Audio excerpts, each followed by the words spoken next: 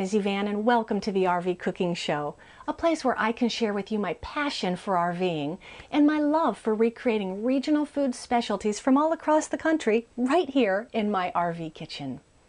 Today we're going to talk about the exquisite Maine coast and I'm going to show you how to make some New England style fish chowder. Before we talk about the coast though, let's get the chowder on the stove. Fish chowder is easy and it is delicious. It doesn't have a lot of ingredients in it, and I'll tell you, I picked up this recipe several years ago when I first began full timing and was touring the Maine coast. I went into a fishmonger and I began to ask the man behind the counter about fish chowder, how to make it, what you put in it. Behind me, I heard a little Maine voice and I turned around and it was a crusty old fishwife a captain's wife, she couldn't have been more than five feet tall with the wrinkles of a Shar Pei, and in her kind Maine way, she came up to me and shared with me her family's old fish chowder recipe. And that's what I'm going to share with you today. I want you to keep in mind though, you can put anything in your fish chowder. In my New England style fish chowder, I put one medium to large sweet onion chopped. It's about this size, and I chop it in whatever size pieces. It doesn't have to necessarily be small pieces because we're going to cook it up till it's translucent. I use about six small potatoes that are all cut to about the same size, the same chunks. You can use one or two large potatoes if you like, and I don't use too many potatoes because I want more fish in my fish chowder than potatoes.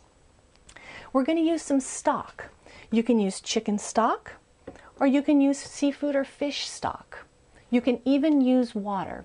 My husband doesn't like the real fishy taste of the seafood stock, so I use half chicken and half seafood. If you use only chicken or if you use just water, you might want to add a bottle of clam juice just to give it a little more briny taste. I'm also going to use a can of high quality chopped clams with the juice. And the secret to New England style fish chowder, according to my fishwife friend, is evaporated milk. You can get this regular, low fat, or non fat, just like you find the milk in the dairy section. I use low fat because, oh, I think it's a little healthier for you. The regular is a little creamier. The non fat, of course, is a little waterier, a little more loose. And of course, our piece de resistance, the feature item, the fish in the fish chowder. For my fish chowder, I use about a pound and a half of fish. I try to get two or three different kinds of fish. You want boneless, skinless fillets, and you want to choose a fish that is firm, something that might not have an overpowering taste as well. In this case, I've got some cod, and I also have some skate wing. Let me show you what the skate wing looks like. It's a fish that's found in New England, and it almost looks like a, a cheese stick that pulls apart. It's tender, sweet, and delicious. This isn't the firmest fish though, so I'm going to put this on last. Now I know it's called fish chowder, but I love shellfish as well. So I'm going to add some shrimp. These are cleaned shrimp. They don't have their shells on them, but they do have their tails. And I'm going to use some sea scallops. Now this is a delicious Oh, fresh sea scallop. But I've got a tip for you with a sea scallop. When you purchase them from your fishmonger, you want to take a look at them before you cook them. Oftentimes they will have a muscle on them. Now this muscle is what the scallop uses to hold its body to its shell. You want to make sure that you remove this before you cook it because it's chewy and doesn't taste very good. Simple to remove. All you do is grab a hold of it and pull it off. Simple, easy. Oops, this one kind of came apart. There we go. Simple, easy. There it is. You don't even see where it was. Delicious. And I'm going to cut my large scallops in half. I use about four large scallops. I use about eight large shrimp. Okay, let's go ahead and get our chowder started, and then we'll talk about Maine. In my pot, I've got about one tablespoon of butter.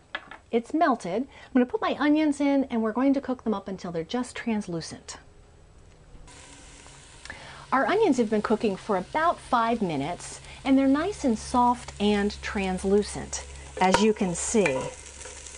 they look great and they smell delicious. The next step is to add our potatoes. Add our potatoes and we're going to put them in a single layer on top of the onions. The next step is to cover our potatoes completely with liquid. What I'm going to use is about one cup of chicken broth and about one cup of seafood stock. Mm. I'm going to put the cover on. I'm going to let this come to a boil, and then I'm going to test my potatoes. I want to cook them until they are just about tender enough to get my fork through. No more, because I'm going to continue cooking them and I don't want them to fall apart in my chowder. How about I tell you about Maine?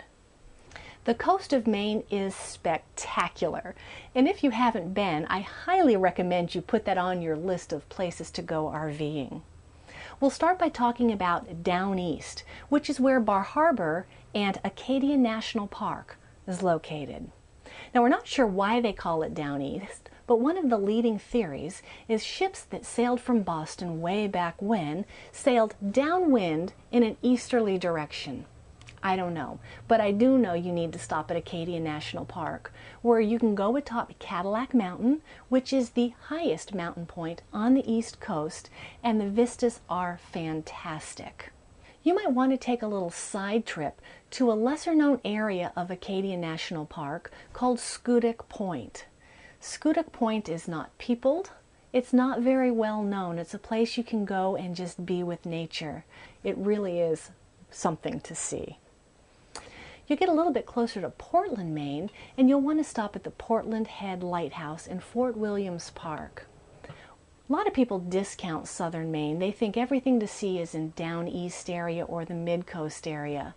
But one of the most famous and one of the most photographed lighthouses is in the southern part of Maine in York. It's called Cape Neddick, or the Nubble Light for short.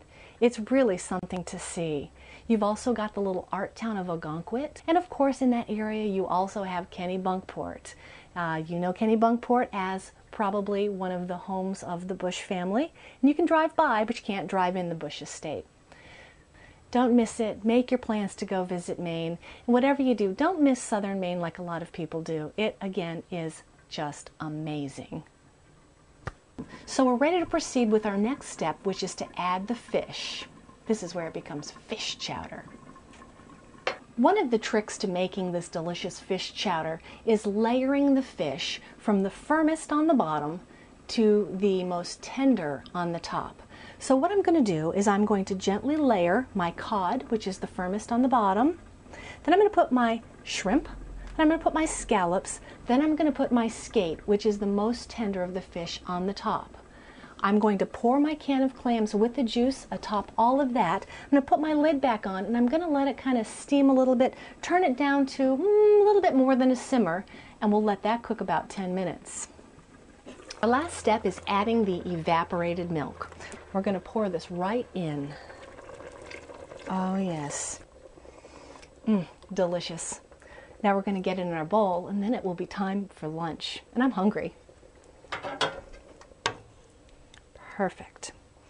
Now, we're going to finish this off with some paprika, a turn or two of fresh ground black pepper. We're going to top it off with the last fabulous piece before we eat, which is a pat of butter right in the soup. This just looks delicious. We've got cod and skate and shrimp, scallops, potatoes, and this fantastic broth with a little bit of melted butter. You want to serve this with some fresh sourdough bread. You can find this recipe and others that we've made on the RV Cooking Show on our website at www.rvcookingshow.com. Thanks for coming along and joining us today. I hope you make and enjoy some New England style fish chowder. And don't be a stranger, come back and see us right here on the RV Cooking Show.